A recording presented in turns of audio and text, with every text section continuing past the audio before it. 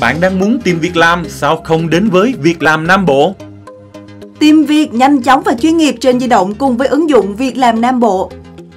Chỉ với một ứng dụng duy nhất, bạn sẽ có thể tìm và ứng tuyển vào những công việc phù hợp một cách nhanh nhất.